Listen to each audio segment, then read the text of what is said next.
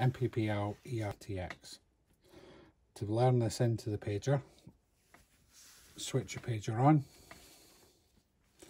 press the pair button, LED comes on, activate your pendant, LED goes off, activate pendant again, to reset switch it off, switch it on, ready for the next activation.